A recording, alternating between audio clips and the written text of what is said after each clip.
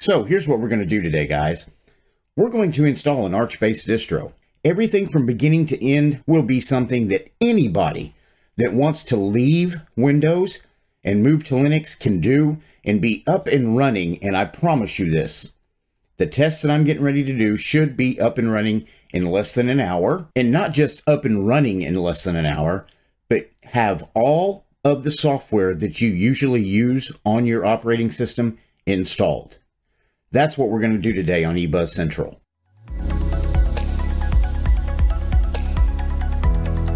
So before we get into the meat and potatoes of this, the first thing I want to tell you, what I've done is I've went through, yes, this is a Windows 11 machine. It's a new laptop. Well, it's not a new laptop. It's a new laptop to me that I just purchased and I want to put Linux on it.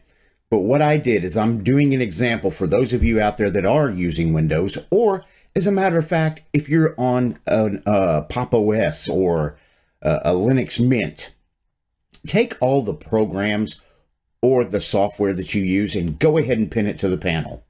There's a reason I do this because right now, before I make this jump, I'm going to look down here at the software that I'm using. I've got a mail program. I've got my file manager down there. I've got Firefox, which is my main browser. I have Microsoft Edge's browser for the simple fact that I have things concerning my work that I have to have it for. I hate that fact, but it is what it is. I've got a snipping tool down here or screenshot. I've got qBittorrent, GIMP, Shotcut, VirtualBox, Kodi. I've also got OBS. You can see that it's running. And I have a couple games that I still own from back when I had a Wii and a PlayStation 2 that my kids thoroughly love to enjoy. So sometimes I like to take a machine and unhook it, take it to the living room and hook it up to a television and me and the kids can have a little retro gaming night.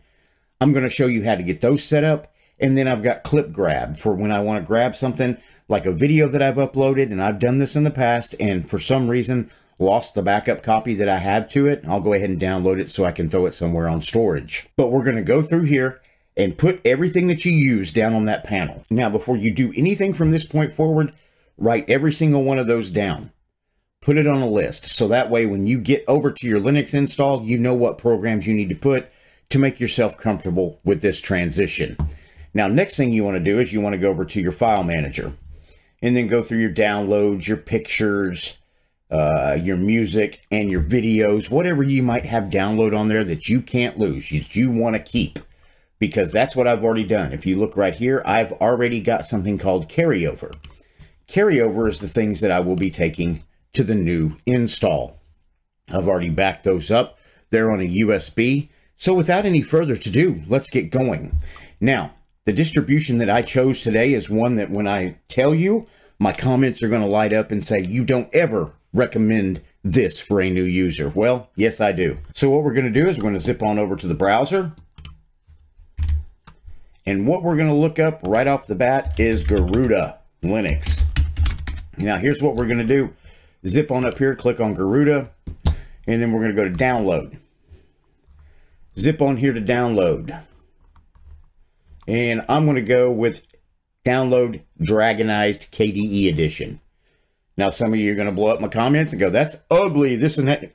I don't care what it looks like at this moment in time. I'm actually going to keep Garuda on this system because I've grown kind of accustomed to the way it looks. And there's a few little tweaks that make it look really good, and I'll show you those once we get it installed. So go ahead and just click download. You can do it from SourceForge, Torrent. I recommend using a torrent. Zip on over, get qBittorrent, download it. It takes no time at all. So once you get that downloaded, what you're going to want to do is zip on over and get Balena Etcher. So let's go Balena Etcher. Go ahead and click on that. And then what you'll want to do right here is just go down here and download it for Windows. Once that's downloaded, you can close this out. And if you come down here to your file folder, open up Balena Etcher. I already have it installed. So let's go ahead and open that up. And right here, it'll say flash from a file. Is get you a 16 gigabyte USB stick. Drop it into USB port. We're going to flash from file. So let's go pick the file. There's Garuda. You open it. Then you select your target, click Lexar, click select. Once you have that done, all you got to do is click flash and it'll flash you a USB. It'll take approximately two to five minutes. Once that's done, you'll want to go over, eject it.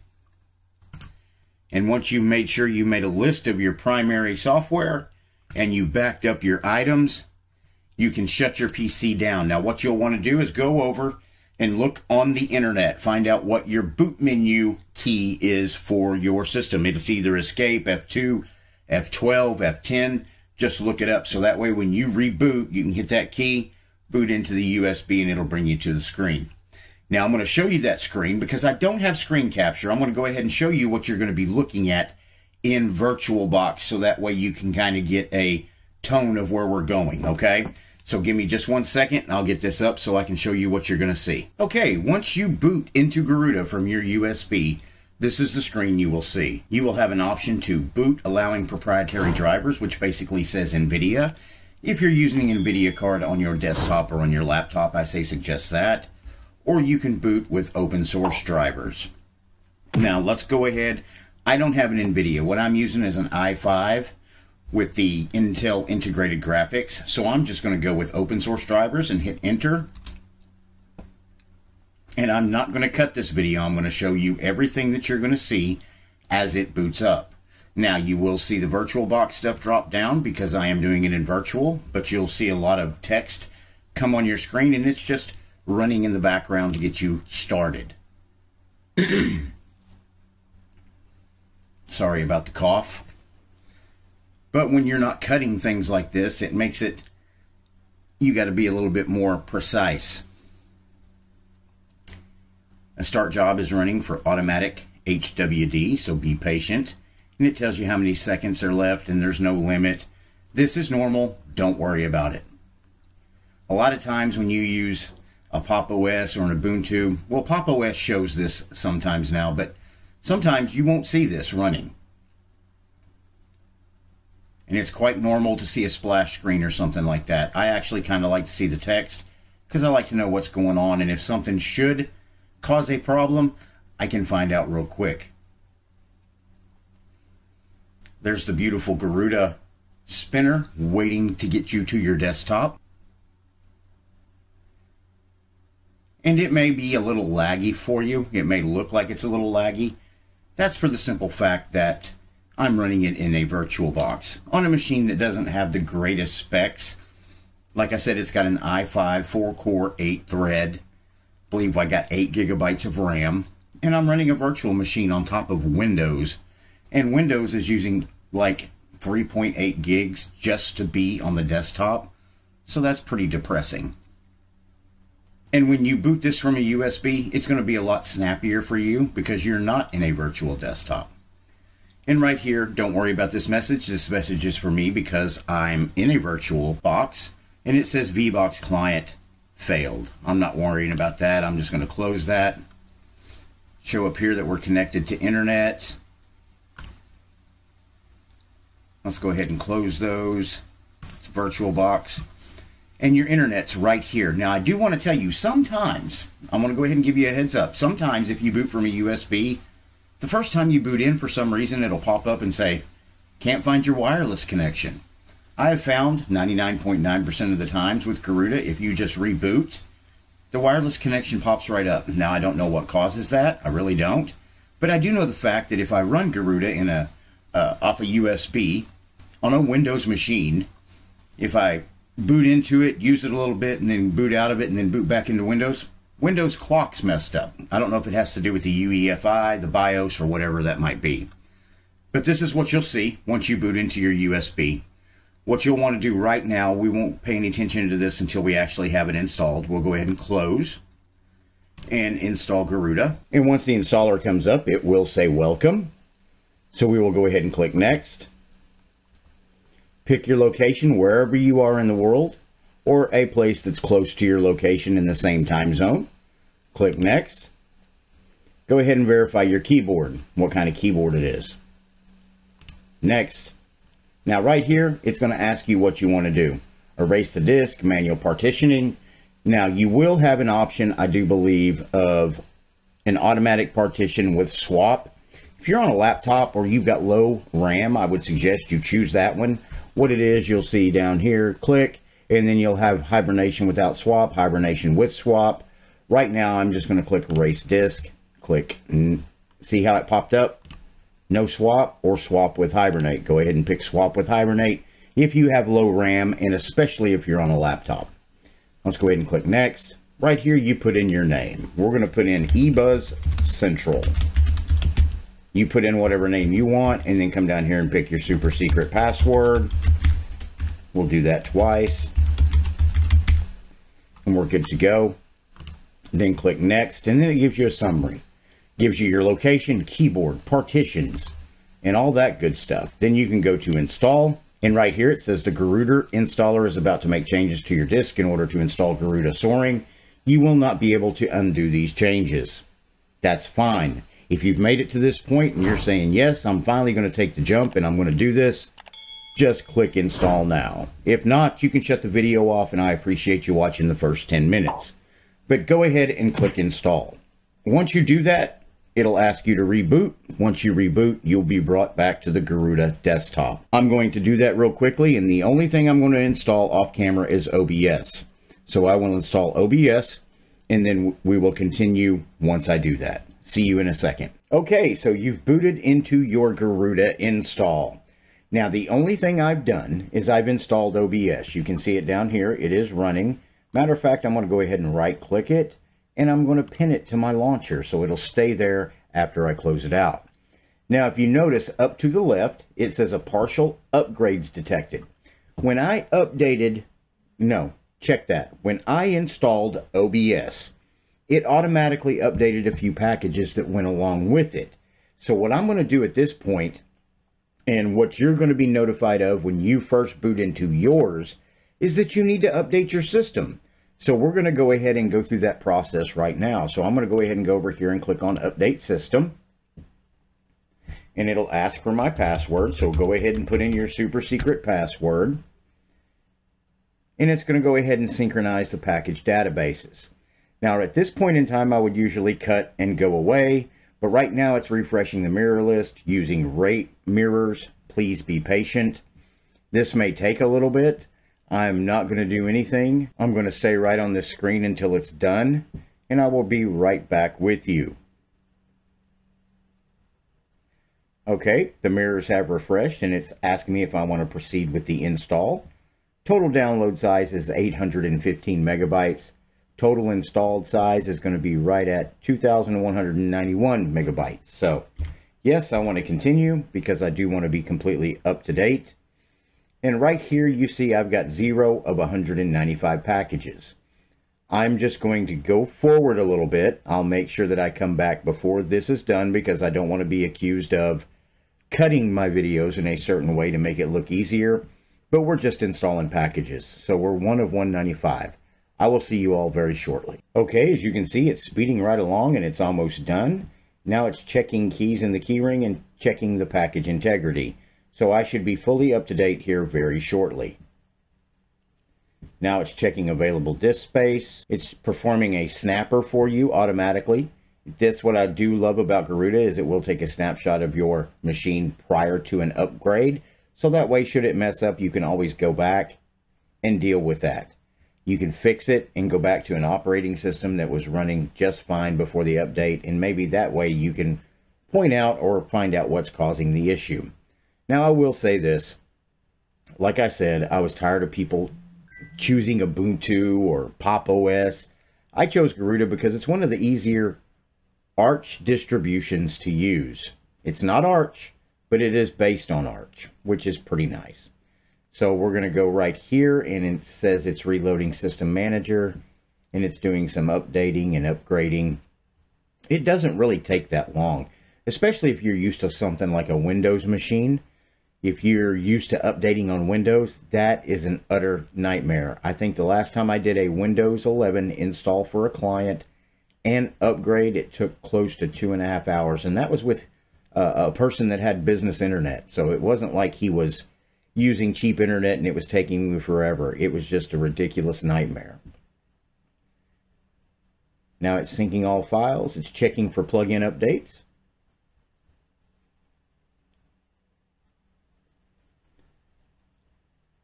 System updated. So what time is it? 758. All right, guys, I do want to point something out right here. I do believe we started this update at 754. So that update took a total of four minutes. And when I installed Garuda, when I booted into it, I wrote the time down. And when I was finished and it said time to reboot was six minutes. As of this point right now, actually sitting in front of a computer waiting for it to install an update, I have spent 10 minutes. Now, let me ask you, what can you do in 10 minutes on a window machine? Absolutely nothing. So let's go ahead and close out of this. Now, I'm going to go ahead and close out of that. And right here, you've got a couple things I want to point out. So we're going to go over here to the Garuda Assistant. Now, the Garuda Assistant, if you come to this before it notifies you, you can do a system update right here. Refresh your mirror list, remove orphan files. You can take snapshots of your system. You've got system components, settings, system specs, and other diagnostics. I'm going to go ahead and close out of that. Then you've got Garuda Gamer.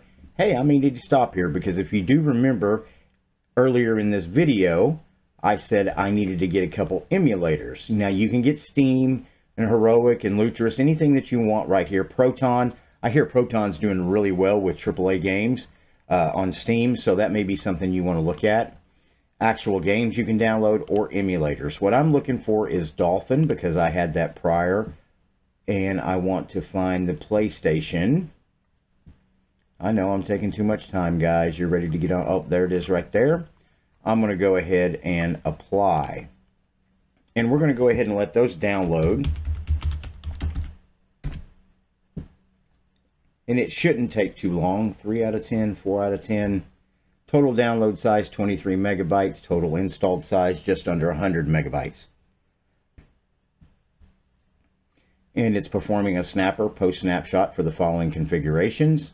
And it's syncing all file systems. Press enter to exit. So if I'm correct, I should be able to go up here and click on Dolphin. And there's my Dolphin emulator.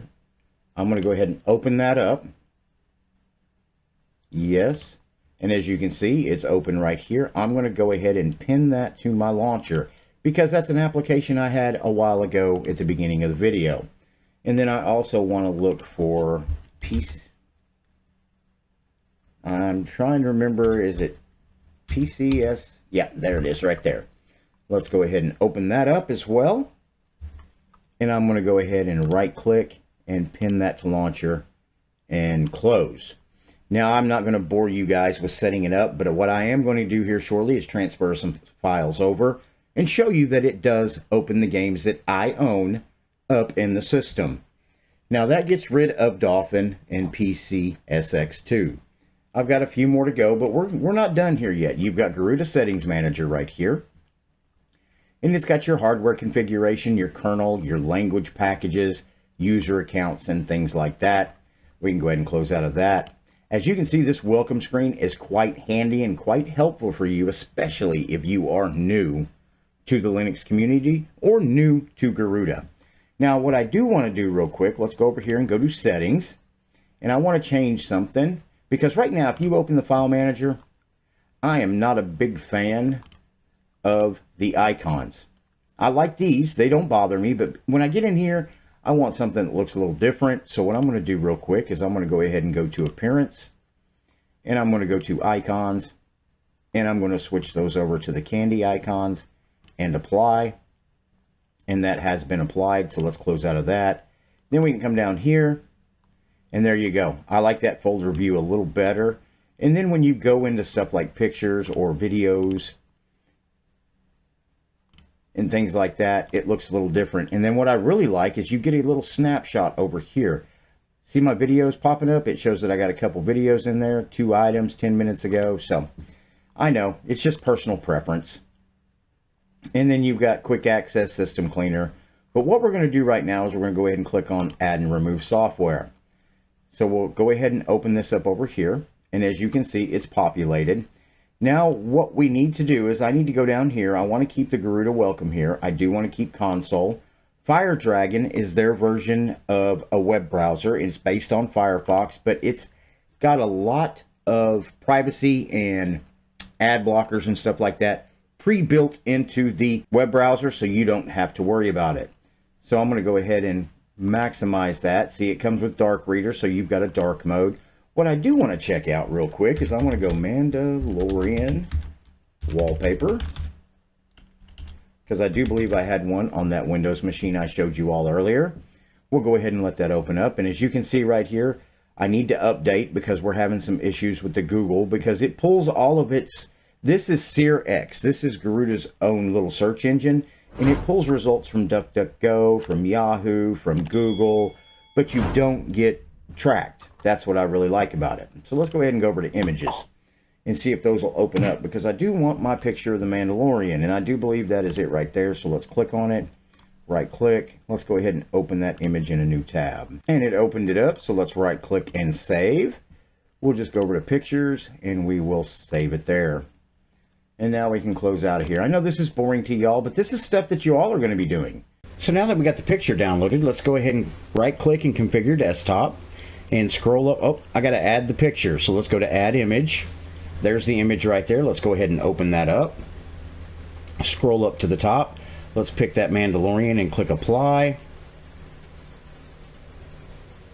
Let's close out of that. And there we go. We got a brand new background. It's the Mandalorian. It's the same background we had a while ago when we started. So let's look up Spectacle. Spectacle is the screenshot tool that comes with Garuda, and I'm not a big fan of it, so I'm going to go ahead and remove it. I know a lot of people say, why would you remove it when it's totally good tool that works? Because there's another tool I like better and I want to utilize it. Got to put in my super secret password and get it correct. And let's go ahead and uninstall that and it's in the process as we speak. Command is finished. So now we're going to look for Flameshot. And Flameshot is an awesome tool. If you haven't used it, I suggest you definitely give it a try.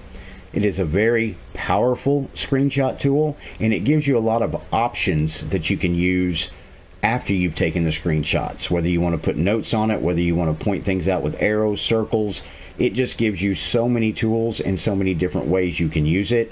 I don't need GNOME Shell, but I do want to add Grim because it is a screenshot utility for Wayland and it helps Flameshot out quite a bit. So we've got all of that selected. All we have to do now is go ahead and zip on up to the check mark and click install. Click yes. Put in your super secret password and it will start installing it. If I'm off just a little bit with my audio, there's a reason. My microphone died. I'm using a backup microphone and I'm having to do a voiceover. So if I'm messing things up, I'm sorry. And as you can tell right there, I've lost my icon for Garuda App Manager. We'll have to figure that out here in a second. But we looked up Flameshot. We go ahead and start it. And as you can see, it pins it to the panel up top. So anytime you need to take a screenshot, you just click on it, select your area, and there you go. Your screenshot's taken, and you've got a lot of different tools down here you can use to make adjustments to your screenshot, whatever you might want to do. But we're just going to save it at this point. Go ahead and save it in pictures and click save and then you should get a notification in the upper right letting you know that the screenshot has been successfully saved. So we'll close out of that. Now, like I said, if you get a chance, definitely take a look at Flameshot. It is a great tool and it makes your job extremely easy if you're needing to take a lot of screenshots and put annotations on them and things like that. So now we're going to look for qBittorrent. If I can spell it right. And let's click on that. And let's go ahead and click on install and click your check mark. Let you know what dependencies it'll be included. Put in your super secret password and let's move forward. And it is installing rather smoothly. It's performing a snapper snapshot and it is finished. So qBittorrent is installed. Now, if you go up here. I want to go ahead and see if I can fix this icon right now. So let's go over here. Let's uh, choose icon. Well, wait. Let's see if we can clear the icon and the Garuda logo come back. it doesn't. So let's go ahead and choose an icon. Let's just put in Garuda and see if they give us something. There it is right there. Let's go ahead and click on that. Click OK and apply. And there it is. We have our Garuda logo back. Now, let's go up here and let's open up qBittorrent. There it is right there. Let's go ahead and open it up. Yes, we agree. And there's qBittorrent. Open it up and ready to go. Let's right click on the icon. Let's pin it to the launcher. And let's go ahead and close out of that. And as you can see, it pinned it to the tray up top and I bet what you're thinking right now is with everything getting pinned up top, I bet we're using an enormous amount of resources with everything that's supposedly running in the background right now. And it's not really that bad, to be quite honest. If you look at Windows, let's just do a comparison. Let's open up a terminal.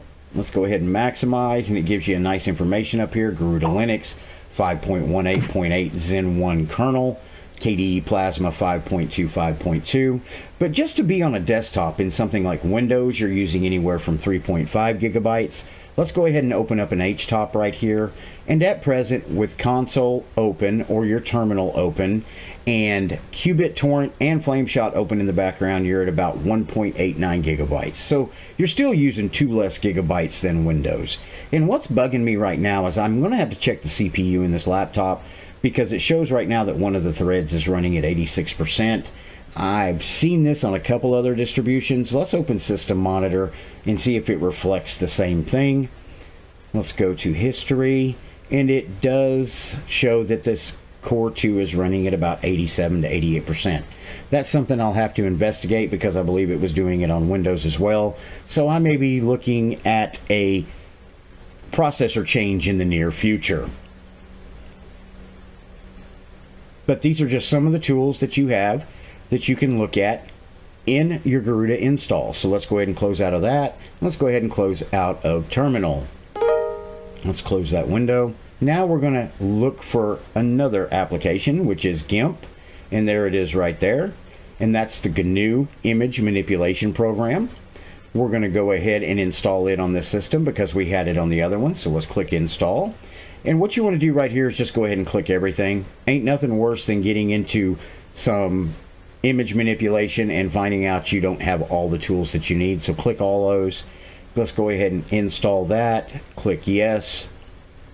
Go ahead and put in your super secret password. And it will start the install. And it'll show you down we're at 10 of 25. So it's installing 25 packages, checking the integrity and it's making a snapshot of the system prior to install so that way should something go wrong you can go back refresh from your snapshot and start from where you were prior to the issue happening GIMP takes a little longer to install. It's not too bad because it is a rather large program, about 200 megabytes. It ain't too bad though. And it looks as though it has finished. So let's go up here. Let's go ahead and do a search for GIMP. There it is right there. Let's go ahead and open that up and it'll take a little bit on the first start because it loads everything into it. And there it is right there. And the icon pops up. Let's right click on it. Let's go ahead and pin that to launcher. Let's go ahead and maximize. And you can see right here let's look at what version of GIMP we are presently running. And that would be 2.10.32 so the newest version. That's pretty awesome. Let's go ahead and close out of that. And let's zip on up here and close out of that. Now, the next application we're going to take a look at is Kdenlive. I'm not going to go with Shotcut on this install, so let's go ahead and install. And I'm going to include everything here except for record my desktop because I do use OBS Studio. So let's click OK, and then we can go ahead and install that. It says the following 20 packages need to be retrieved, 53 megabytes. Let's go ahead and put in our super secret password and let's install that. One of the reasons I'm not using Shotcut is because it's had issues here for a little while of using way too much RAM on a Linux machine.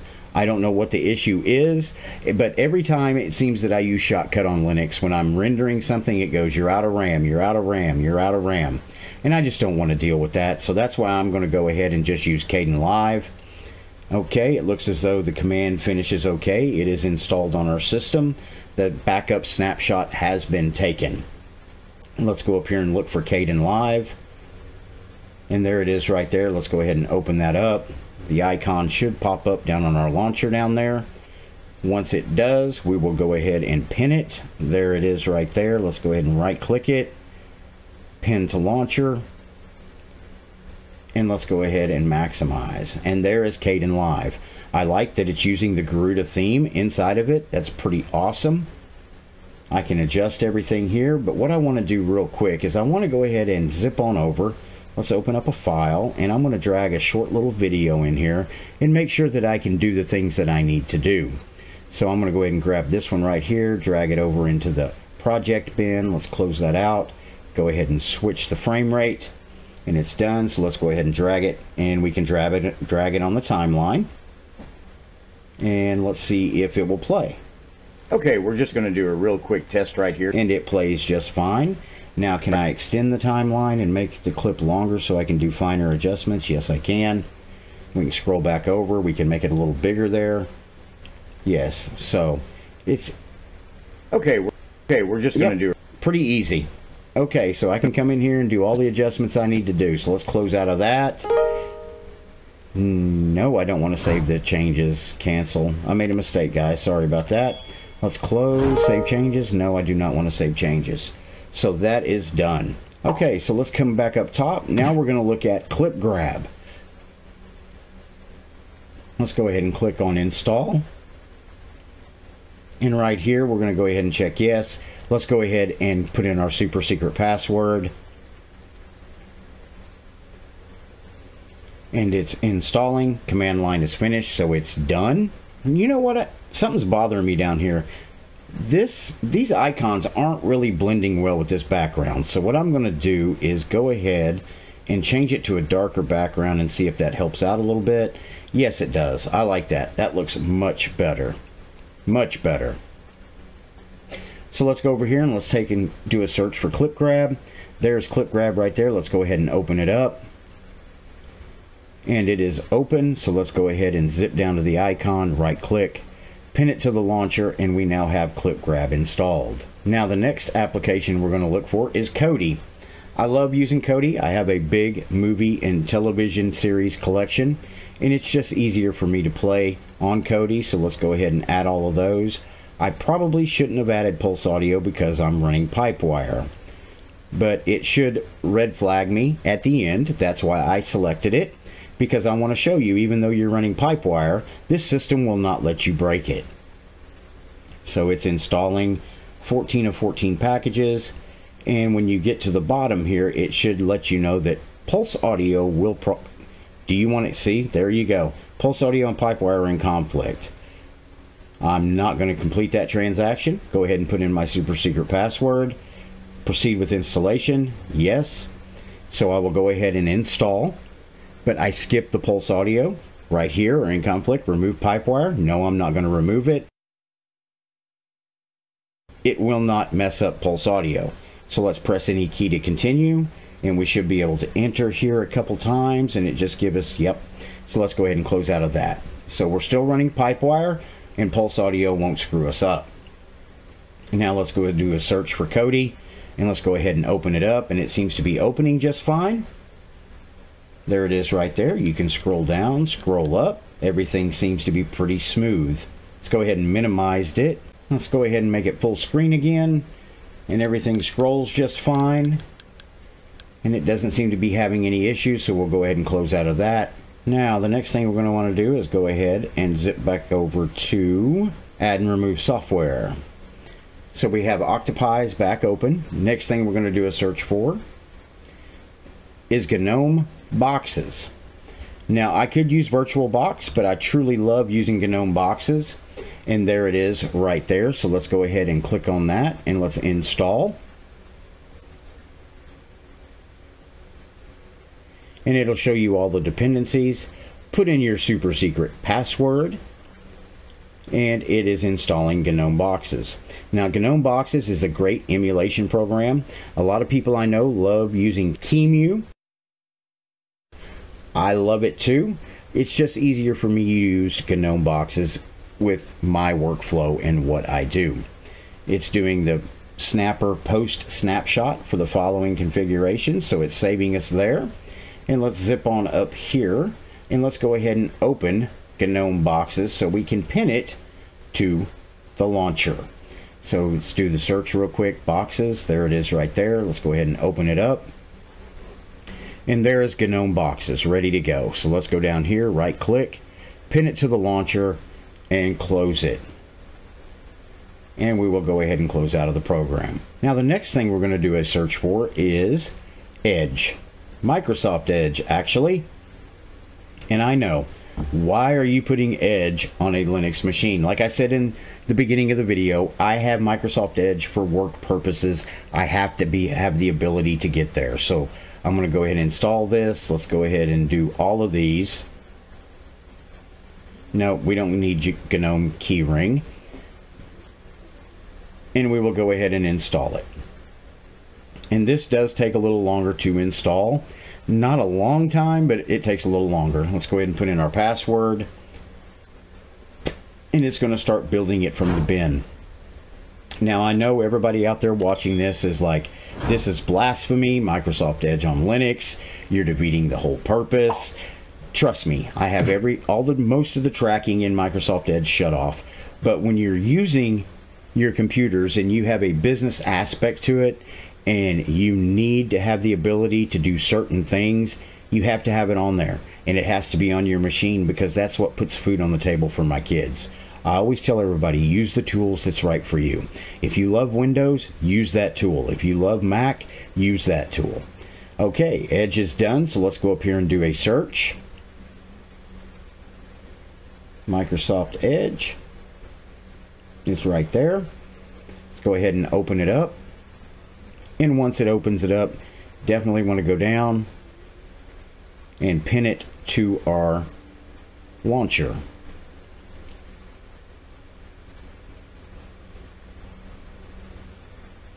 Let's go ahead and minimize it. Right click, pin to launcher, and it is there. And then I'm going to move it over here behind FireDragon.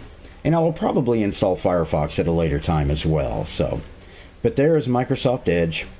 It's installed. It's real easy to install applications on a Linux machine. Now, the next thing we're going to do, I'm going to go ahead and where's Dolphin? I'm going to go ahead and open up Dolphin. And I'm going to show you that it works out of the box. It's easy. So all we got to do is go over here and we need to open up a game file which Dolphin can recognize and actually use. There's the Wii game. I maximized it so it's easier to see. There it is right there. So let's go ahead and open that up. And we'll see if it plays. And there you go. It's starting up. There's a version of Mario Kart Wii that I have the disc to. I've just ripped it, and made a copy of it to put on my PC because I don't have a Wii anymore. And it's starting up inside the emulator here doesn't seem to be having any problems. Let's go big screen. And I do have it muted so you can't hear the audio because I do not want to get hit with a copyright strike. Eh, it's not muted, so I will definitely have to make some changes here. Okay, I will have to mute that out so it doesn't show up. So I'll have to do some editing after the video. But that shows you right there that Dolphin does work. I'm going to go ahead and close out of that. And that, guys, was real quick look at Garuda, getting it installed, leaving Windows, installing applications, making it easy to install applications. I don't know what else you can ask for. Stop recommending just Linux Mint. Stop recommending just Pop OS. If you're somebody that wants to try Linux and wants to give Linux a shot, definitely zip on over, download Garuda, and take it for a test drive. I'm crazy Everybody will tell me I'm crazy. You do not point new people at Arch or Arch based distros. I'm sorry, this is Garuda, this isn't Arch. But you've got to take a leap of faith sometimes, and I think that's definitely the time to do it. Is when you're ready, jump on Garuda and give it a shot. What do y'all think? Do you guys think I'm completely out of my mind, or do you agree with me? Let me know in the comments below.